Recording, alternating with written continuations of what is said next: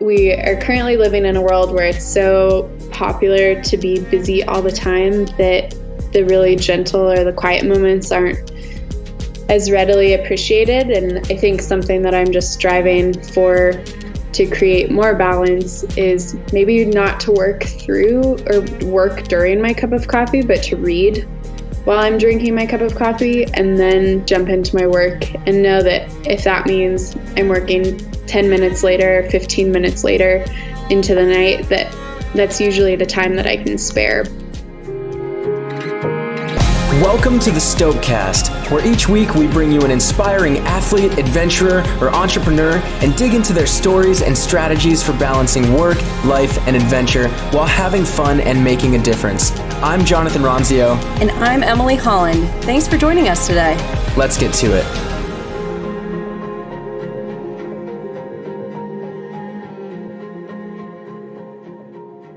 That was Becca Skinner. Uh, Becca is a Montana based photographer, writer, conservationist, farmer, uh, just all the things. All the things, all right? The things. she, she's fantastic. Um, and Becca actually was was introduced to us by a past guest. Who was Chris that? Chris Hampton, episode six, one of my favorite interviews. That, why was that one of your favorite interviews?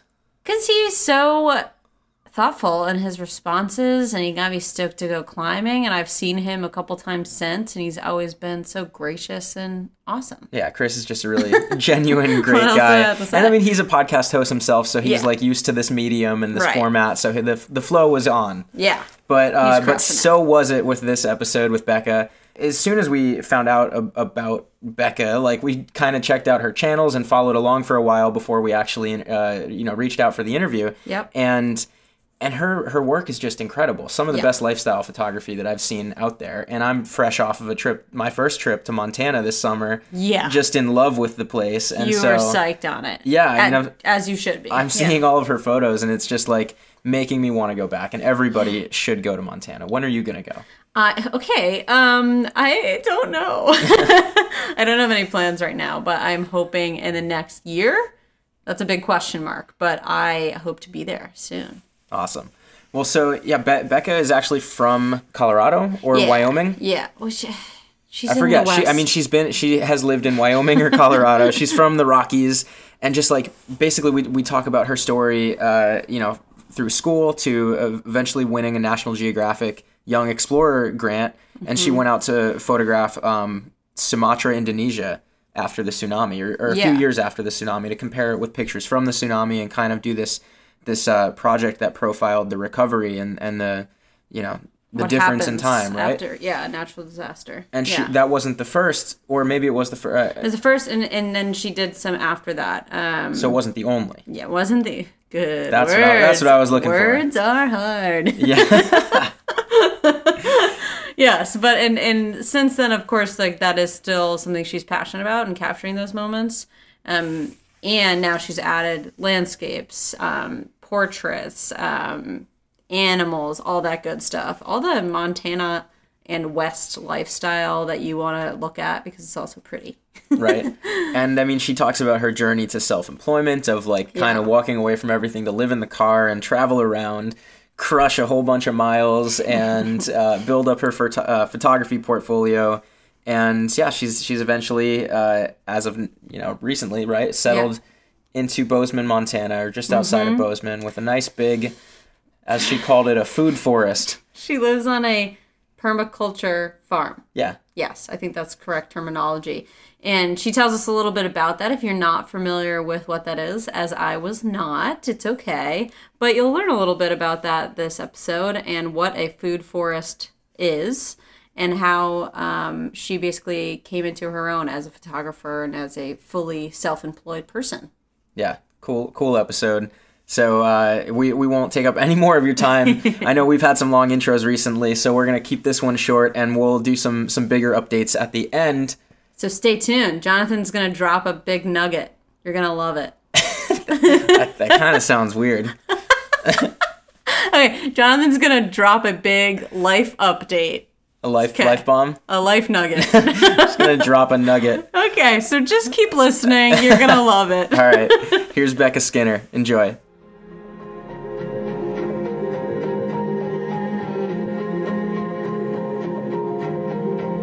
Hey Becca, how's it going? Hey guys, doing well. How about you? It's so good to have you on the Stokecast. We're stoked on it. yeah, we're, we're doing great over here. yeah, thanks for having me. So, we want to hear all about your photography and how you got into that. Um, but maybe just right off the bat, I know you're you're living in Montana. So, where are you living, and, and what kind of land are you living right now? Sure. So, I live outside of Bozeman, Montana. It's kind of a rural neighborhood outside of the city, if you can call Bozeman a city. and we my fiance Eduardo and I have about three acres, and almost a full acre of that is a permaculture garden slash food forest. So everything in there is edible, and we have 20 chickens and beehives, and it is just a really awesome plot of land. God, I love the, the term food forest. That's just like I want to be in that. Yeah. yes, me too. Me too. Um, awesome. Well, so for listeners who don't know uh, what permaculture is, um, no, I, I actually was able to do some volunteering in Honduras at a permaculture farm and in, in a couple other places in Central America. And it's a really cool concept. I was blown away, but I'll let you actually explain it because you have the hands on experience right now. Well, I would be excited to get any info that you can chip in too, since this is my first year taking over our specific food forest and permaculture plot. But um, how I understand permaculture is it is a garden space that's intended to mimic what's happening out in nature. So um, we it's a no spray. You pull weeds by hand. There are specific plants and vegetables and trees and shrubs that are planted next to other things to help fix nitrogen, um, to put out nitrogen, and just better your soil and your land and create a whole new ecosystem. Wow. yeah, no, that's that's pretty spot on. I, I think the the key to it is uh, ecosystem, right? And so that's what I learned when I was volunteering with doing like getting my hands in the dirt with the permaculture. Is like there were ducks in a little pool in a pond that the pond was actually what they were feeding through the hoses. So like the ducks are, are literally crapping in this water, and that water is being used to fertilize uh, the herbs being grown in the garden, and then like mushroom scraps are turned back into like it kind of was just this whole cyclical thing of using every piece of everything to benefit and support each other in a perpetual ecosystem. Yeah, that is exactly it. There are three of us that live in this house, and between the three of us, the majority of the food scraps go to the chickens, which that compost gets heated up. I mean, there's so little waste, and we can absolutely be do be doing better with that. But it's a pretty sustainable, um, I guess, rotation to live that closely to the land. It's really awesome. I've really loved and enjoyed digging into it. So, what inspired you to uh, to really dive into permaculture and and you know start your food forest there? yeah, so my fiance Eduardo had uh, basically had this plot designed by a really talented permaculture designer. Her name's Jessica Souza, and she spent five years working on the soil at our house because it's it is an old riverbed, and so there's nowhere on the property other than this food forest where you can stick a shovel into the ground and have it go more than a few inches without hitting a rock. And so she spent years, she buried cottonwood mounds, and um, I mean, really, it was a full time job. Last year was her last year with us as as a designer, and I had moved in just a few years prior and was taking up an interest in it. And so, out of the two of us, I had the more flexible schedule and kind of an interest in moving into farming or focusing on that more. So, I took it over, and it is holy smokes, I have so much appreciation for people who work outside in the land every single day because it is hard work. Yeah, seriously. Um, but I imagine pretty rewarding to actually do work with your hands um, because uh, as a photographer, I'm sure you have a lot of screen time as well um, that you have to do and focus on. You use your hands on the laptop I and on the know, camera. and you get arthritis. It's fine.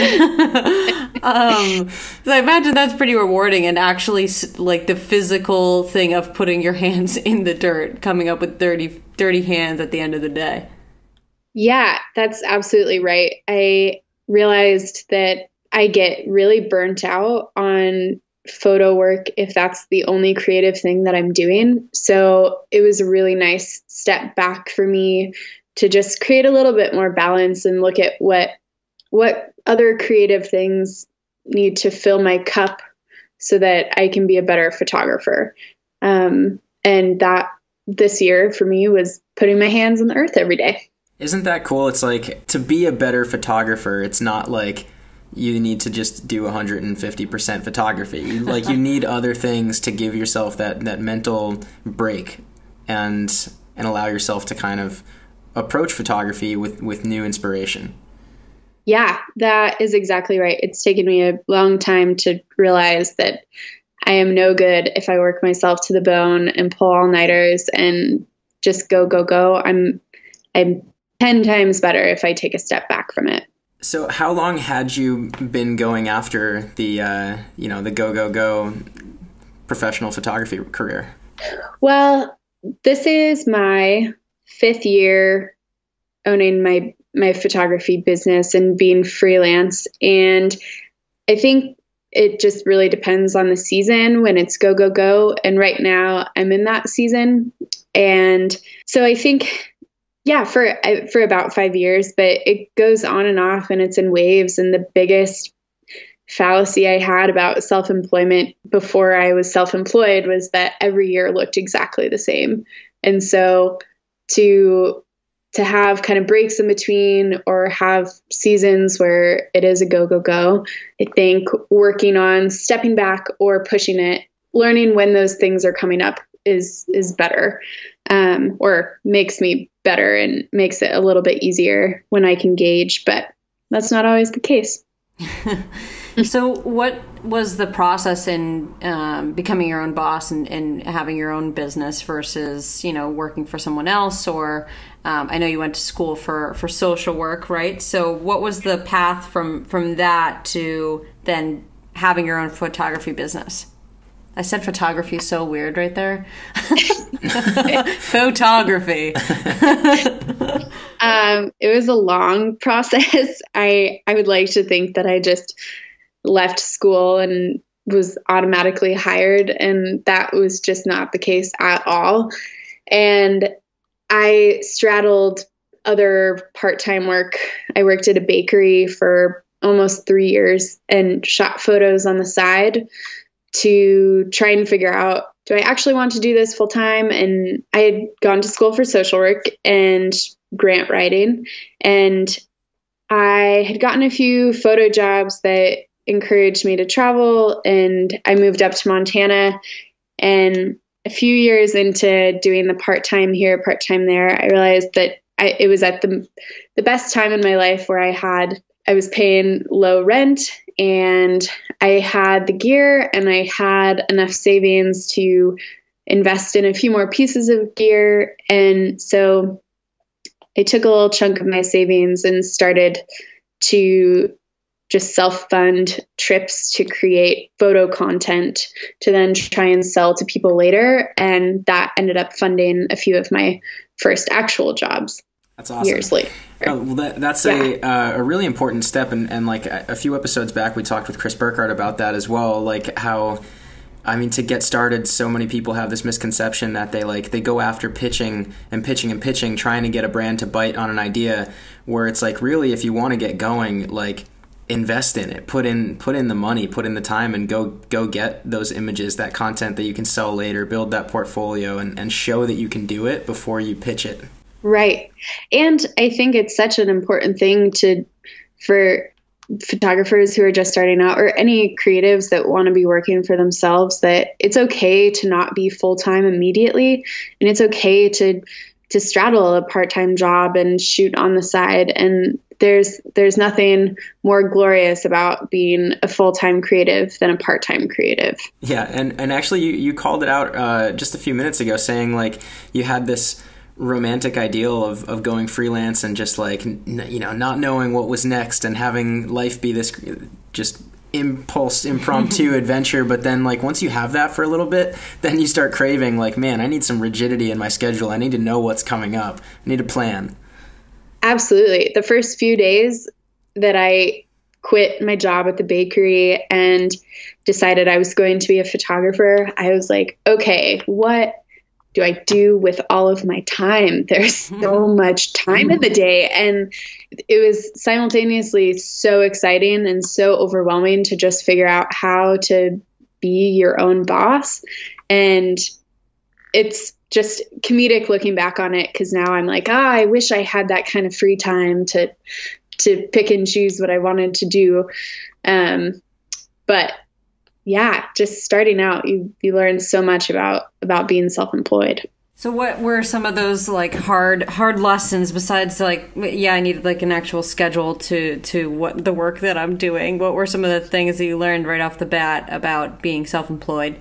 Well, I learned a lot about myself and just how driven I am when when it's something that I actually want to do and I didn't finish school when I left school, I just felt like, man, I why am I not motivated? And this is an amazing opportunity, and I believe in education. And I think just a little boost of confidence in myself and thinking this is actually something I want to see happen. And it's exciting to see myself kind of graduate into this more driven, motivated person to go for my goals. And and that was something really positive in that experience for me.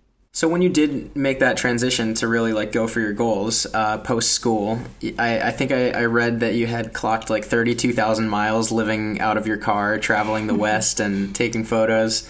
Like uh, in that time frame, how how did people uh, around you react? Like your parents, your friends that had seen you going on this this uh, this path you know you're studying social work and education and and like you said you might have had a great opportunity and then you decided to just go live in the car and take photos. Like what what did people think of that? Yeah my parents were actually i'm so lucky. My parents were the ones that told me to stop going to school.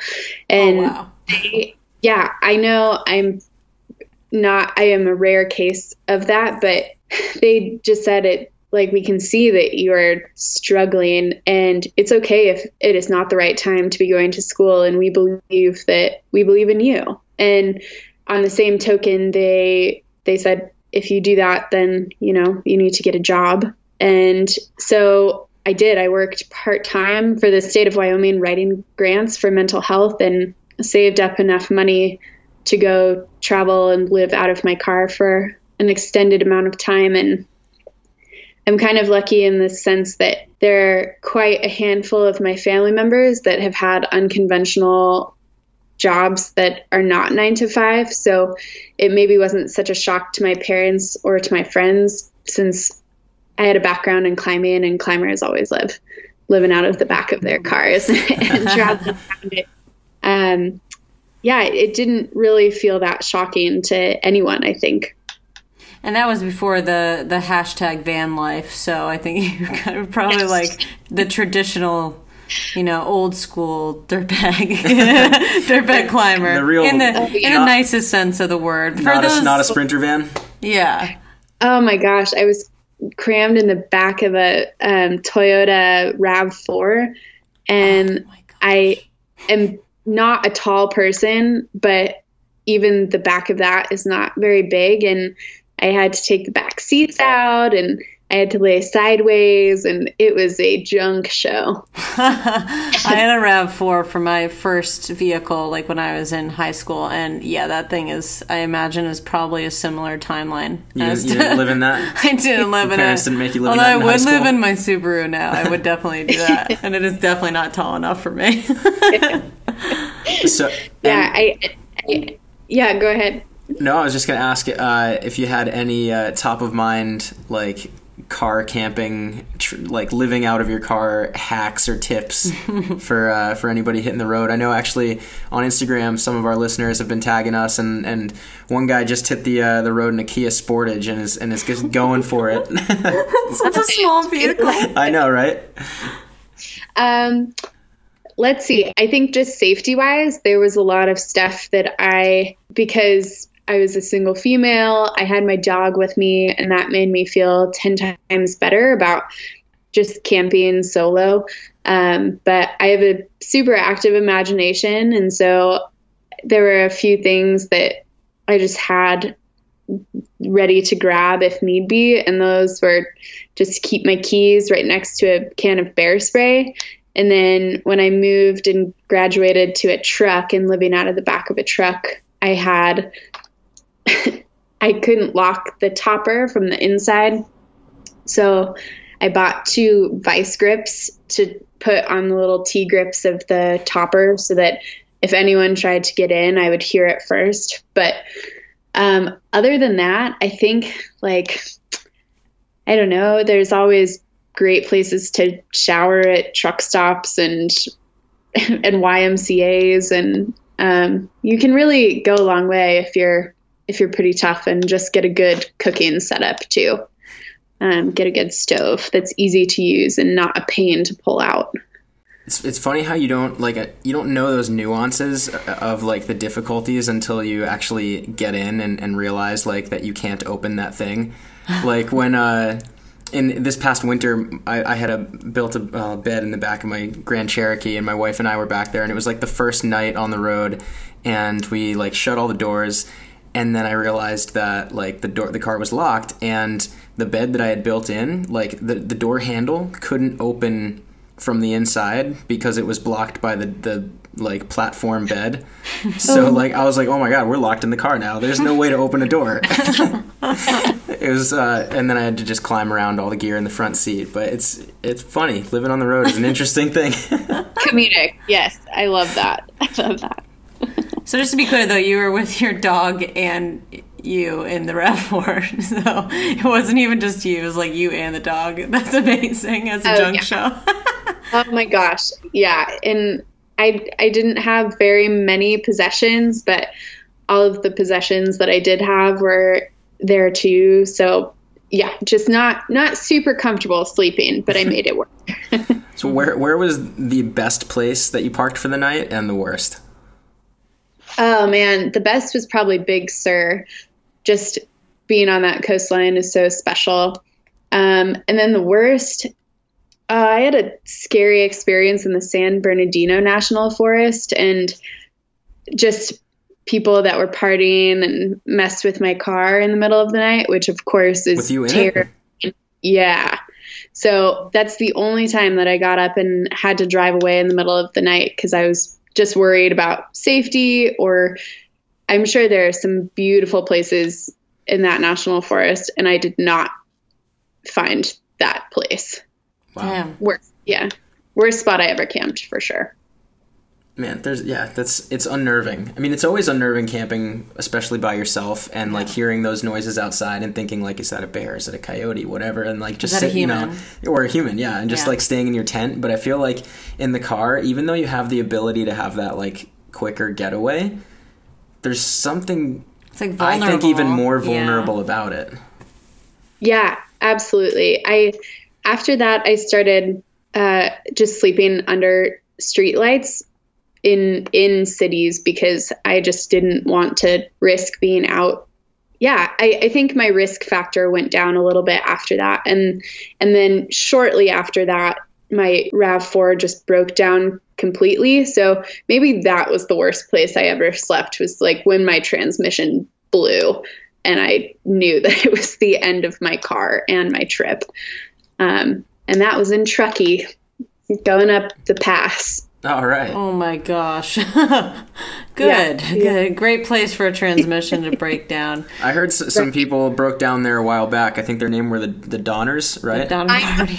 Don't Great. say that. Don't say- No, no. When I told my parents where where it happened, they were like, "Wow, that's okay. Get to town." And you know, hitchhiking in the middle of the night. Good.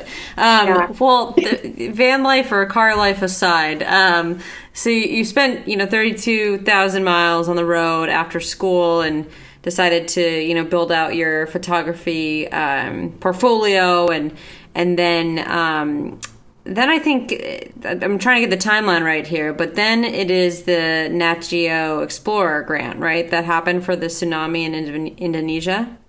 That happened while I was in school, and that that oh, ended okay. up leading to me taking some time off because that was such a great opportunity at a young age. I think that really directed me towards my interest in pursuing photography full time. So can can you tell us a little bit about the the Young Explorer grant that you got with Nat Geo and like the whole you know the purpose of the trip and and also I'd imagine I mean were you already studying grant writing at the time because it seems like that was uh you know you had a, level up on on anybody else going for a grant.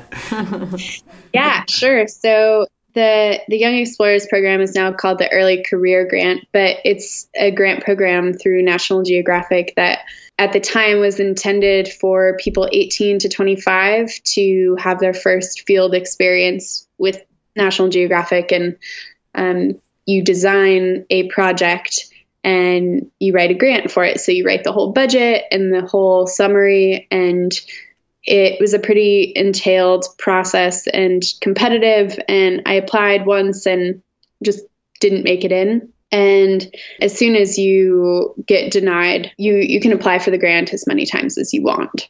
And because I had been denied, I I started an application the day after, and I didn't know what I wanted to do, but I knew that I just I wanted that experience with National Geographic. So I ended up meeting at a grant workshop through National Geographic. I met a photographer whose name is James Balog, and he he was the subject of um, chasing ice and he does a lot of receding iceberg photography a lot of work around climate change. And he had told me at this dinner we were sitting next to each other.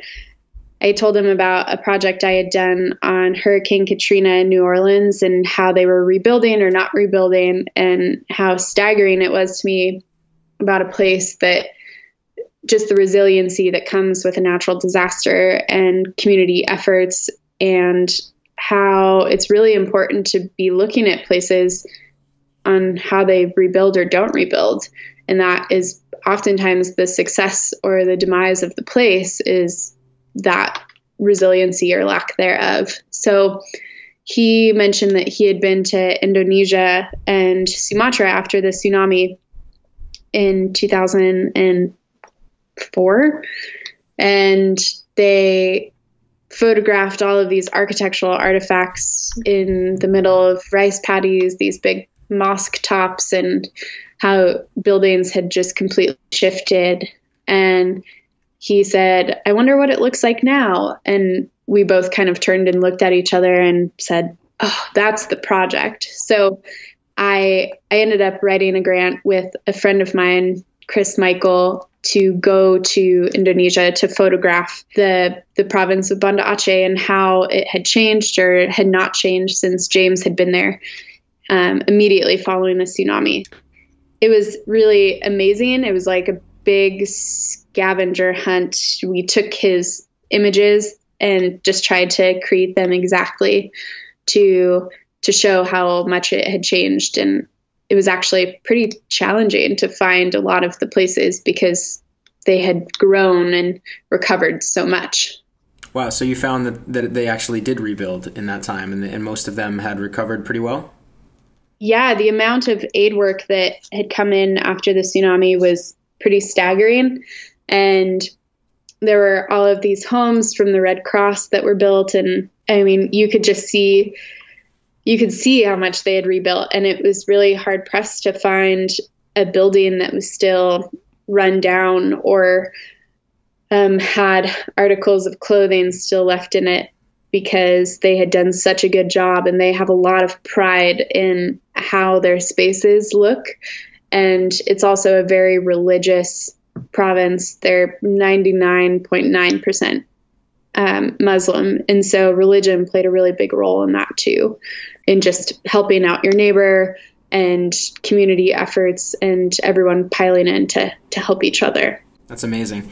So you shot in, you know, New Orleans post Katrina and uh, and then this project in Indonesia. Like, is this something that's carried forward in your life? Is going to, um, you know, natural disaster devastation zones, uh, or or is there another way that like this aspect of of social work and conservation has kind of, you know, cul- culminated, yeah, throughout throughout your the rest of your career?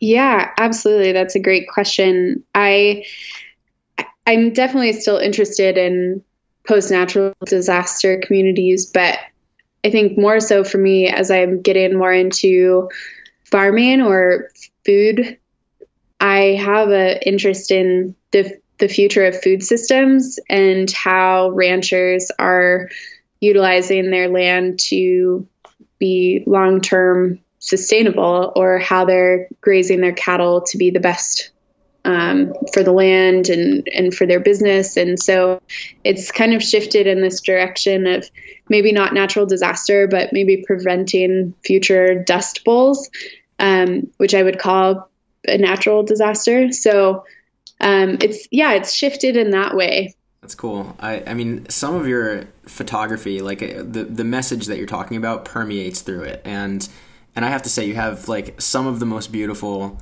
outdoor lifestyle shots of uh, just like candid happiness in the outdoors with dogs and with horses and everything. Um, Thanks. It's very. I mean, I, I know I was pandering about the beauty uh, of Montana before we hit record. I think, but like I'm gonna say it again. Damn, Montana is amazing. Thank you. Yeah, it's it's not a bad canvas to be working in at all but thank you. So I'd, I'd love to know a little bit about your photography process and like, you know, how, how you think about image composition or uh, post processing or like what, what goes into capturing a moment for you? Yeah.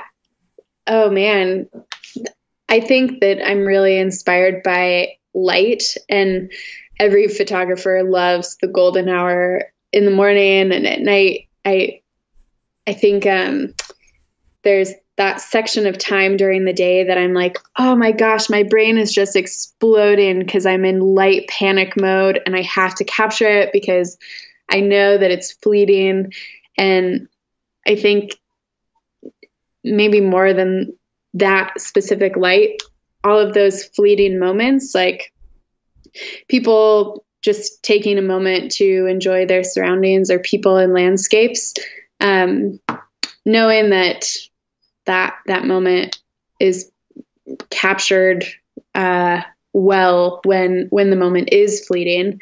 I think um, I think about that a lot. I I don't know. I'm really inspired by light, light and new landscapes, mountains and wide open spaces, and places that really shift your paradigm from thinking um, that that we're more than just a speck.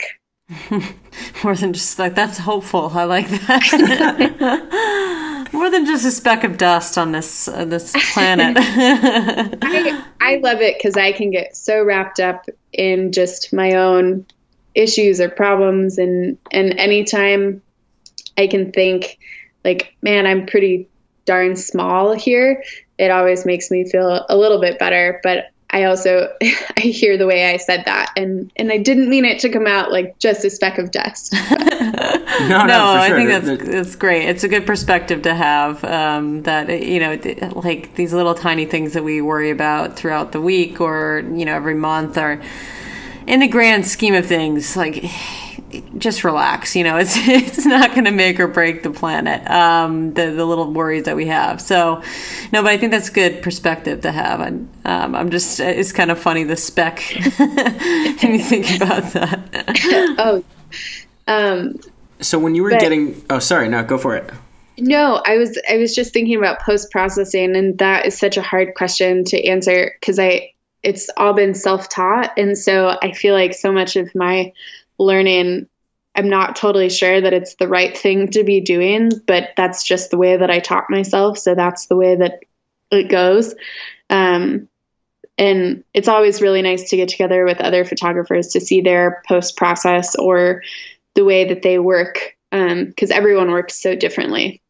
Well, so when you were first just getting started as a photographer, and, and, you know you pick up a camera and you're traveling, and you're inspired by these landscapes enough to want to invest in the gear to capture it better and do justice to that image and share it with people to inspire or motivate or whatever the purpose be.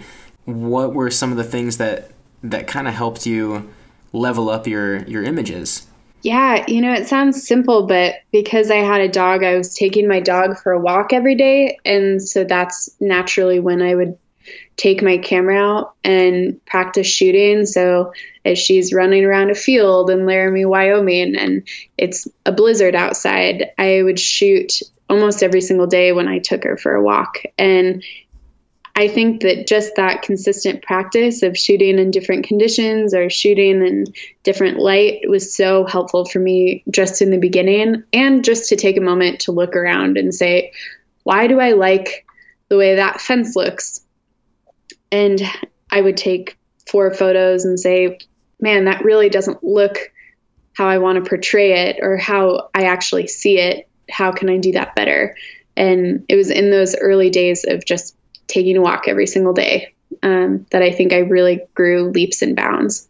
I love that. I got to start bringing my camera like on my walks with my my little pup. That'll that'll yeah. force me to actually take photos. Kate is so photogenic. You have to. yeah, maybe I can have you come out, Becca, and you can take some photos of her. Hang them in yeah. my yeah. Walks and dogs. I'm in. Well, I love the the ranch style too of your photos. I mean, that's something that at least from being from the Northeast. I mean, Jonathan and I are both we we live in are um, raised in the in the Northeast primarily. Um, so like uh, the ranch life is just so out of our um, uh, comfort zone, or like I don't really know anything about it. So in capturing you that, I'm not a rancher. I'm saying that you're definitely not a rancher. you don't have a permaculture farm, man. You can't be a rancher. Um, but no, it's just so like fun to see because it, it, I don't know, it's just like so out of my like everyday life that it's it's just um, like pushes me out of my comfort zone a little bit to be like, oh, there's like there's this whole other beautiful section of the United States that I just don't know what the lifestyle is like there. Yeah, well, thanks. It's I I can't imagine living anywhere anywhere else. I think being raised between Colorado and Wyoming and now living in Montana, there's just a deep love for the landscape here that I don't think I'll ever be able to shake. And I know that there's some beautiful spots on the east and I was just in rural Missouri, which is not a place that I ever thought that I would be either, but I was like, wow, they there's fog here and fog is like a novelty to me because we don't have that very much out here so there's some really beautiful spots all over the all over the country for sure. There is. It's a it's worth exploring the whole thing. Yeah. Um, so for for a lot of your photography or for a lot of your photos at least on instagram you are in the pictures as well. So are you are you doing a lot of self-timed shots or are you tra- like you with another photographer? Yeah most the majority of them are self-portraits and um, that came from just not having anyone else to photograph and i was out there on my own in a lot of the 32,000 miles and I wanted to capture it and I wanted a human in the landscape but oftentimes didn't have one that was outside of me so um, either that or now being partnered up um, in a relationship, I'm with my fiance a lot, and he occasionally takes the photos too, which is nice. It takes far less time that way. well, that's super cool. I mean, that's such a skill to develop. The like to take such uh, beautiful candid shots that don't look like self-timed or remote posed or anything like that. Um, that is a, a special skill. I say a, a one woman show photographer, right? Yeah, thank you. Um, it, I sometimes I wish that I could just be a fly on the wall and watch myself do it because you run back and forth and you're like, oh, that's not quite right. And if anyone watches me, it's like game over because it's so embarrassing. But that would but, be such a fantastic documentary. yeah, right. Just a It short wasn't film of self shots. Maybe a silent black and white, like yeah. Oh yeah, yeah, perfect. Like kind of like jolty, slow, uh, fast motion. Uh huh. Wow, you guys are really painting the picture. This is great. Yeah, we'll Um, we'll storyboard this after the call. Yeah, Yeah, take this offline.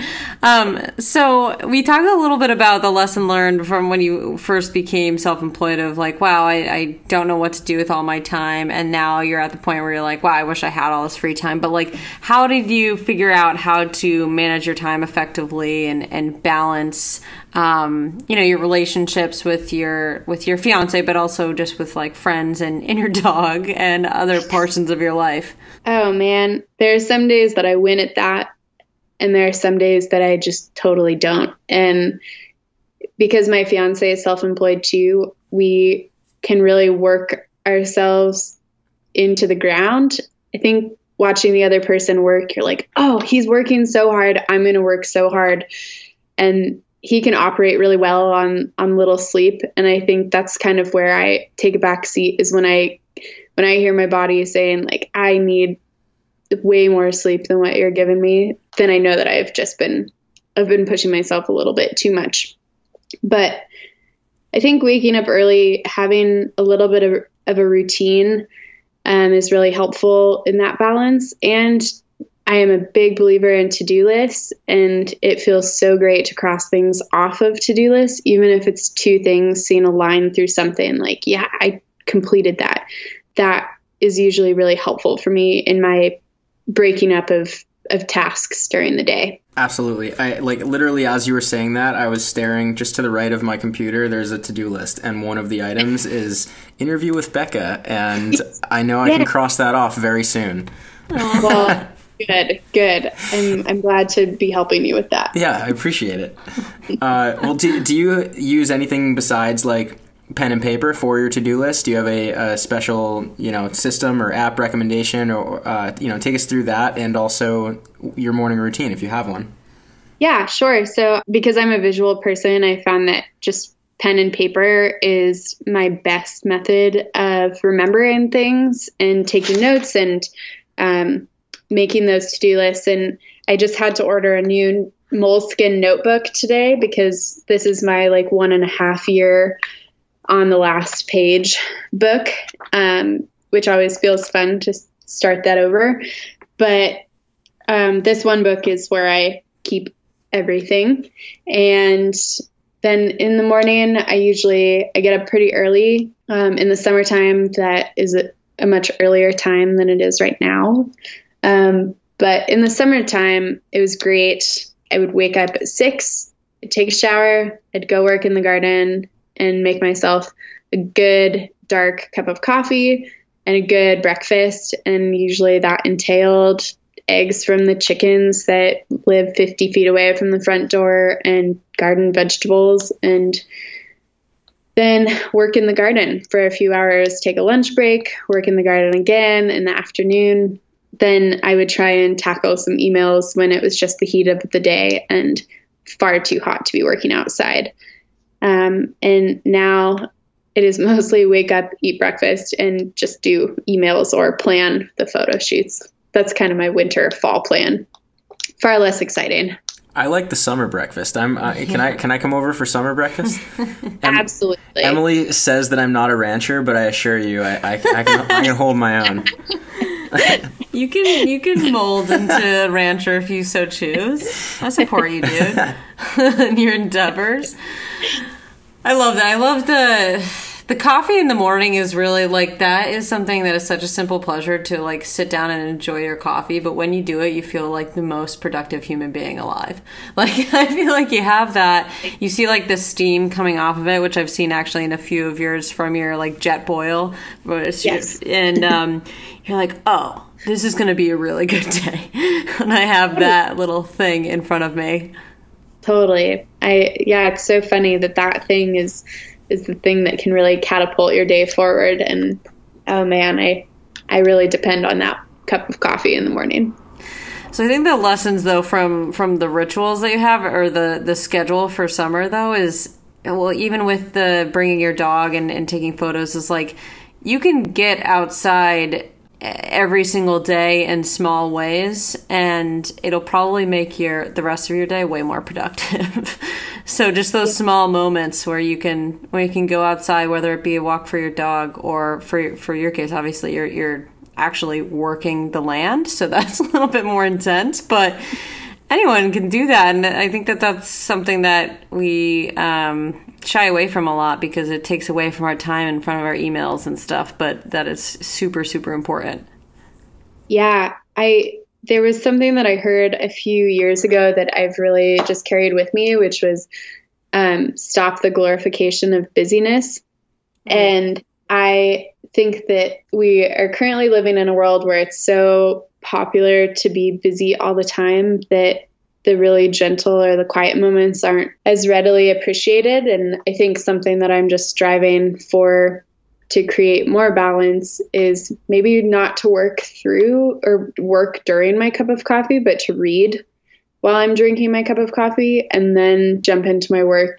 and know that if that means I'm working 10 minutes later, 15 minutes later into the night, that that's usually the time that I can spare. But especially waking up and jumping right into email or screen time can be really challenging and um, yeah just to to stop glorifying the busyness for me is is a good goal for me what a, what a good hack i love that yeah. just don't work during coffee. Okay, new new goal. Well, the uh, the afternoon, or for me, the three other cups that I have, the, you can work through those. But Just the morning cup. one, Just start the morning fresh, cup of coffee and a shot of nature. It's it's.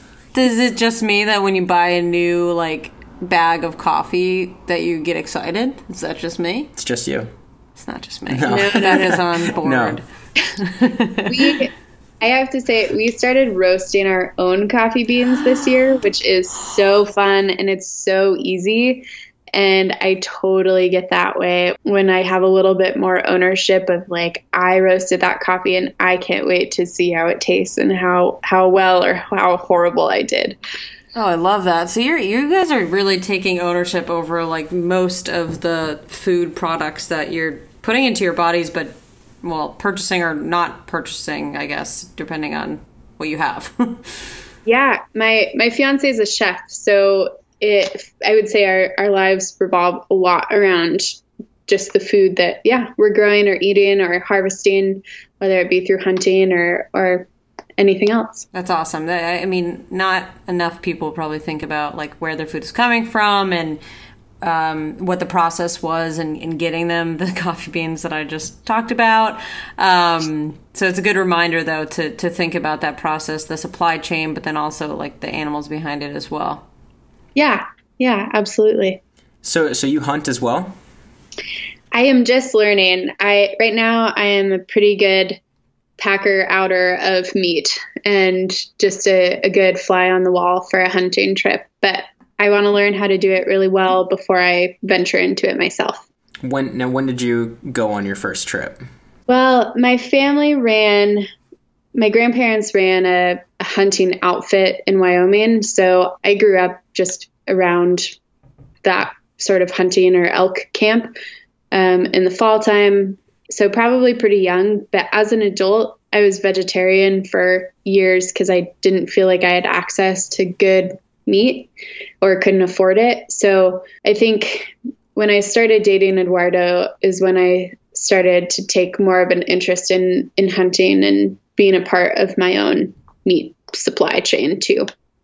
So 4 years ago. So that that's so interesting because that is obviously a you know a polarizing thing in in the outdoor space. What like some people are very for uh, hunting, bow hunting, all of that, and some people are, are very against it and are, are, advocating for no animal meat and all. But like, I like that you say you're you were vegetarian when you didn't have access to high quality meat, but now that you can like go on the range and you know go, go through the process and get get it yourself, and you know the quality, you know the story, uh, that's when you'll indulge. Yeah, yeah, I am a strong believer in to each his own when it comes to food and people eat differently for different reasons. But for me, this has been the most um, reasonable way for me to to eat meat again is to to be hunting my own meat or to be part of that process. So, as a, uh, a conservationist, I know one of the the biggest like misconceptions or challenges against hunting is like the obviously people don't want people killing animals, but uh, from a conservationist, I'd love to hear your perspective on like the good side of hunting and, and from that standpoint of like balancing ecosystems or whatever that you see uh, even in your backyard and the surrounding ranges. I'm still learning more about it, so I I'll try and only say what I know. Um, but yeah, yeah, totally. What I mean, whatever you know or want to talk about, that's fine. I'm I'm just like interested in the topic. Yeah, totally. Um, I am too, and I think as a hunter, I I recognize that hunting is a huge supporter of public land, and I know that that is such a hot topic right now public land and public spaces and even private land.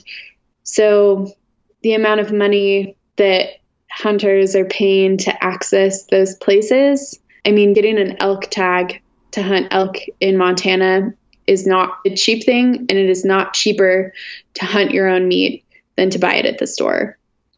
And so there's that piece of it. And then also there's a management that needs to happen in terms of animal population. And maybe hunting is not the perfect way to go about that. I'm still not sure, but I, I do believe that it needs to, populations need to be managed. Um, so those are kind of the two big pieces for me that as I'm coming into the hunting world a little bit more, I'm recognizing that that keeps popping up in conversation. Yeah, and so these hunting groups are, are, financially supporting a lot of the protections that we have on public lands um, in order to be able to hunt on them. I'm getting into territory that I don't know enough about, but I do know I agree with what you're saying, Becca. yeah, no, this is this is yeah. certainly a, a conversation with a lot of points on a lot of sides. Um, so you know, we we don't have to get too deep down this rabbit hole right now, but I certainly it was the first time it had come up on the show, and I, I kind of wanted to prod at it a little bit. So I yeah. appreciate that. Yeah, absolutely. Absolutely. I and yeah, there are so many sides to it and it is not a black and white issue by any means. Totally. So I do, I do want to ask when you started in, you know down your career at, eh, like f- you're getting into photography, you're studying uh, how did you know that you wanted to combine adventure with conservation or with you know any kind of philanthropy? Like what what made you want to pursue the outdoors with a, a more impactful purpose? I wish that it had come sooner i think but for me it came after doing a few years of just straight commercial work where i'm telling people to buy things and having a little bit of this guilt in the back of my head like oh man, I am a visual storyteller and I have the capability to really change people's minds on why places should be protected or what exists in places. And I was feeling burnt out on commercial work and just wanted to start doing more to give back because photographers, creatives, anyone who who has a large social media following, I mean, just everyone is in the position to spread good information, whether it be word of mouth or otherwise. And I just felt like I wasn't doing that enough, especially with having a camera and kind of knowing how to use it. So, just in the past few years, I've been more interested in in talking about more conservation stories. Yeah, I think it's super important, and and honestly, I think that might speak to a lot of people that listen to this podcast, in, in that you know, people are always trying to find what will help them make a better impact in the world. And I think a lot of people have that same pang of guilt that you're talking about, where it's, um, well, what am I actually like? What is my impact here? What what is the way that I'm gonna, even if it's like a legacy thing, like what am I gonna leave behind when I leave? Um, and I think that so many people struggle with that. Um, and you just have to figure it out for yourself what makes most sense to to be able to leave a nice legacy or do more good for the world. Right. And I think the current threat to public lands has been so big as everyone in the outdoor industry feels we can all be doing better For sure. Um, but I, you know, for for me, I think the way that I, I approach it is like, if somebody's going to look at like the long term story, or if they're going to scroll through, you know, my entire Instagram feed, or if they're going to read every blog post, or like look look at more of a, a longer vision of like my work and my story, I would like that to read in a positive, impactful manner with like more more of a, a, thread of consciousness and giving back and, and you know social and environmental impact. But i don't think that every post needs to speak to that i don't think everything mm-hmm. you do every story needs to speak to that i think like there's there's a balance between like having that impact and also just having fun for yourself but as long as the long the uh Long you know the, the umbrella of it is uh, trending in the right direction and, and speaking the right story to inspire others to, to live a positive, impactful life, I think that's the goal. Yeah, I 100% agree with you. Yeah, you drive yourself nuts if you, for every decision you'd make, you're like, well, but if, what about the ants that I'm stepping on? Like, I yeah, can't. Right. There's, I think there's like a religion actually that is is about that. But anyways, um, yeah, I, I totally agree, Jonathan. I think there's certainly a delicate balance for sure. So, Becca, we have a question that we ask all of our guests, and that is what does Stoke mean to you? That's such a good question. Uh, we thought of it ourselves. I know. what does Stoke mean to me?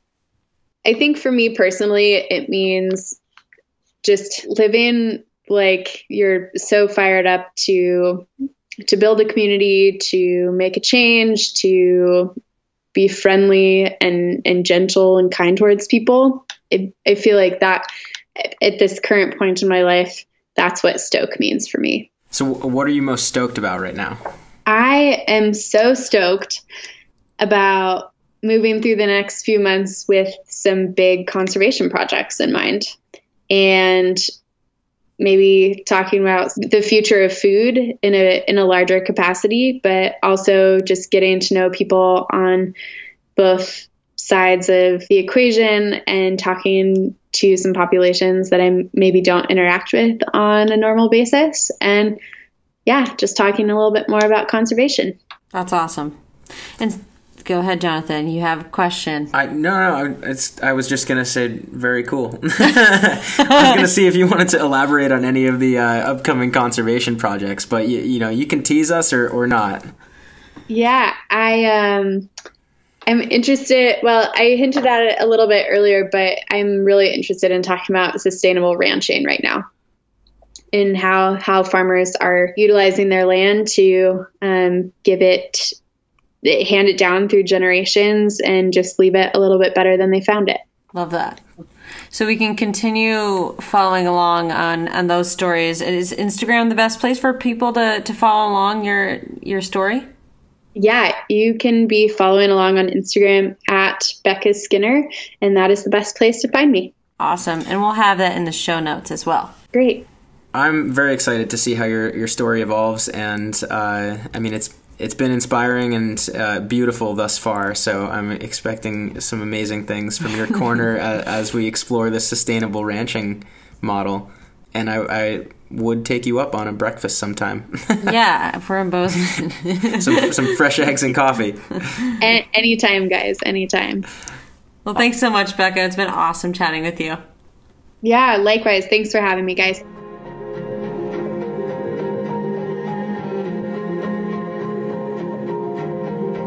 So, the really cool thing about our interview with Becca was that after we stopped recording, she was basically like, um, so what's going on with you guys? What are you stoked about? What do the next couple months look like? What like what's going on in your life? And she that was the so, interview tables. Yeah, I was like, whoa, excuse me. well, um, usually that's amazing. At the, at the, end of an interview, usually, well, at the beginning of an interview, yeah. we're, we're always like, so at the end, we'll say goodbye, and yeah. then we'll kind of have an awkward pause, and we'll still be here, so don't hang up because yeah. then we'll kind of just do a little like casual off recording ender. So for anybody who doesn't know, that's that's how it's done. Yeah, that's how we there, do it. But yeah. but sometimes uh you know that that final conversation doesn't happen because like you just you yeah. go through an hour long chat and then you totally forget and yeah. then we like go through the all right well great thanks for for talking with us goodbye and then And the, like, goodbye really turns into goodbye. Are you still there? right?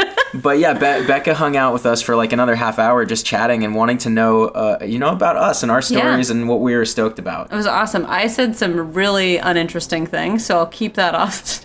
I just said that I was nestling into Boston and wanting to spend more time here. And, but that's not really that interesting. So we'll move on to the more interesting. no, no, thing. no, no. Hold on.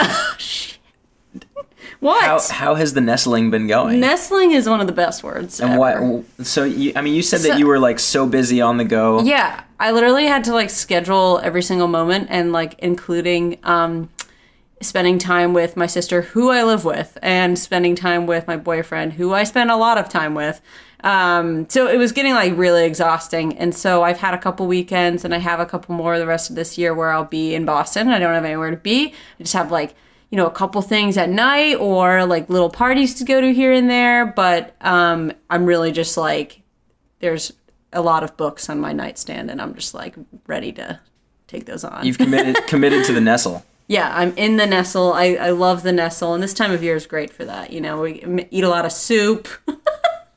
Well, that's I, that's a really it's, so weird, but it's good it's necessary. It's necessary. Yes. That's a really hard thing to do sometimes. I feel like I feel like I'm booked and committed through like 2020. So like Well- wh- one one of the one of the things that I have like lived by for a while it was like my the thing that I clutched to to keep me traveling more, having more adventures and it was that I would never return from a trip without having another trip already booked and planned Yes. and and that was amazing for the you know when I started doing that. Yeah. But then very quickly it became like you know a year and a half was already booked. Yeah. As I got busier. and, It's, it's like a snowball effect. Yeah. You're like, well, I could, well, I could here this weekend. Oh, I'm free that weekend. And then you're just like, am I ever home? I don't think so. yeah. Yeah. So No. so I've I've actually had to commit a little bit recently. Like I'm still traveling and still busy, but I've had to commit a little bit more time to just scheduling time to be at home Yeah. for the weekends. Blackout like dates. like this past weekend, Yeah. I my wife and I did nothing except like pack and Oh. spackle the walls and paint and yeah. So this is what this is what Oh, Emily's been really trying to. This what Emily's been trying to pull out, but the the nugget, the life bomb, is is that my wife and I bought a house. Right? Woohoo! um, We- so that's we, good. we went, we went from literally exactly a year ago Yeah. today. We were packing up our our whole apartment to put on Airbnb, and had built a bed in the back of my Jeep. Yep. And the we infamous road show. we were hitting the the road just after Thanksgiving for a whole winter of like on the road traveling out west and basically living in as small of tight of quarters as possible with Yeah. our two dogs. And here uh, now a year later, You made it. totally opposite side of the coin. We're upgrading from from not not even van life, like back to the Jeep life, Yeah. to uh, to house life, which is just awesome. What it, that? Okay, so tell us a little bit about it. I mean, what's it? What's Well, your so the- most yeah. excited part? uh, the barn, the barn for sure. Okay, so It's a farm. barn- yeah, it's an old farm. which goes right along with Becca. Becca, if you're listening to this still, you, like we're having a farm battle. Yeah, I'm coming out for breakfast, and then you come my way. And, and once I once I get things up and running, Yeah. but no, it's it's like an early 1900s farmhouse in uh, in the Blue Hills area, which is Love just it. like 20 minutes south of Boston.